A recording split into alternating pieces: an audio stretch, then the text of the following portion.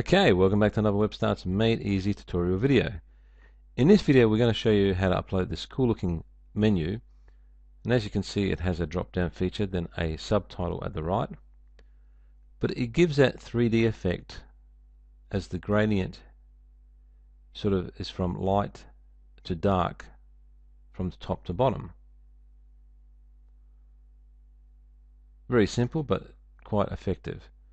Alright, let's get started we open up our folder. Now the great thing about this menu is that the whole code is embedded in the HTML so we don't have any external links so we just simply go open notepad and there's the entire CSS coding. Now again there are some reference notes there if you want to change anything in the actual menu. That's totally up to you.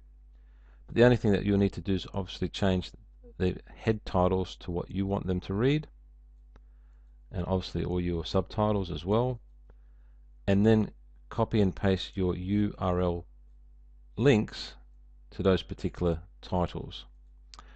Now once you've done all that you simply go right click select all copy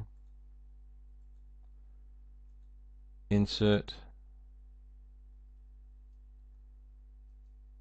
paste click OK now again as you can see your menu is all sort of squashed up that that's fine. Once you drag out the parameters it will then go back into its true length.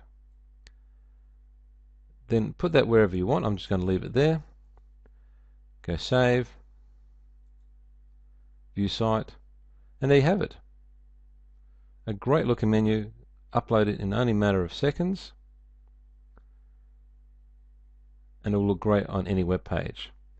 Again, thank you for watching this video, and like I say at the end of all our videos, repetition is the mother of skill. So watch more, learn more, and have fun building your dream website.